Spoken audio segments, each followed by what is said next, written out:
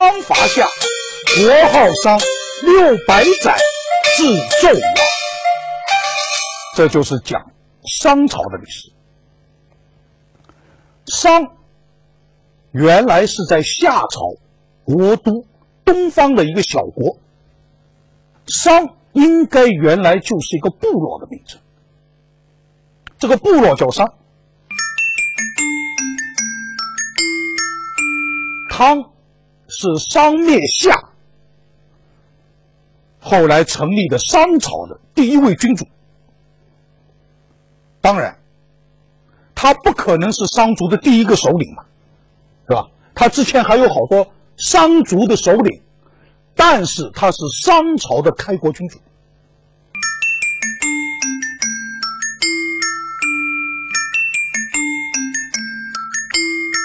汤的名字有很多，在中国历史上，中国历史上就有一句话叫“汤有七名”，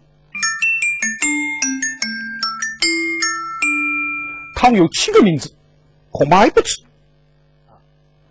商族的活动区域主要在今天的河南北部、河北南部和山东的西南部这么一块地方，就是商的活动区域。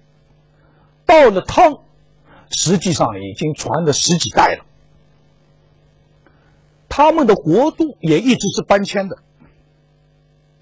经过八次迁徙以后，商朝的国都才搬到了今天河南的商丘。河南这个地名商丘，就是因为他做过商朝的首都，才得了这么一个名字。商族这个部落。在当时啊，相当的有地位。为什么相当的有地位呢？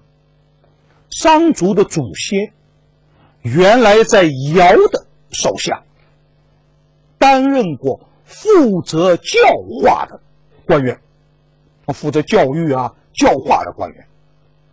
他别的祖先呢，又曾经协助过大禹治水，所以整个这个部落。在当时众多的部落当中，拥有特殊的地位。